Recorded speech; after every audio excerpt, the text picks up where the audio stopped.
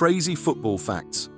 In 1996, Eidur Gudjohnsen was subbed on for Arnor Gudjohnsen, making them the first and still only father and son to appear in the same international match. Eidur was 17 at the time, Arnor 34, and the pair are still cheesed off that they never got to play for Iceland together. The president of the Football Association of Iceland, Eggert Magnusson, gave the coach Logi Olafsson an express order to not play them together in that game. He wanted it to happen on home turf, but Gudjohnsen Jr. ended up breaking his leg. By the time he was fit again, Gudjohnsen Sr. has retired. Was Eggert wrong for not letting them share the stage together? Please like and subscribe for more.